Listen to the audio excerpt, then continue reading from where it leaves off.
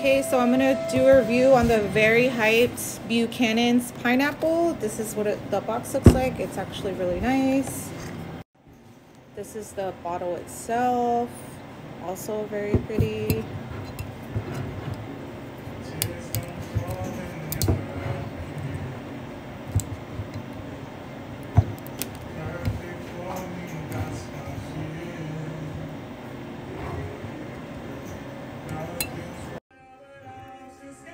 Doesn't smell very bad.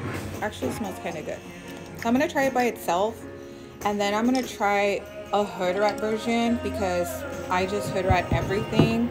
So but i want to try it by itself first to see what it tastes like. It smells good.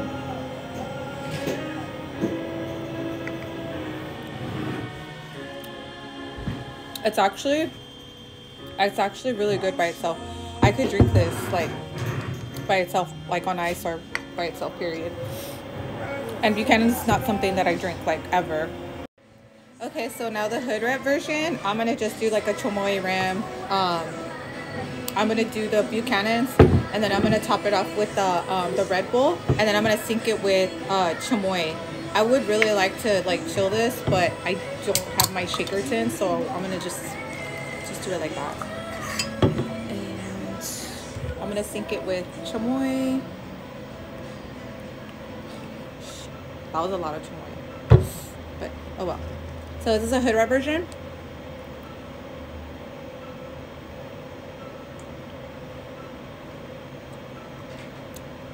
Really good.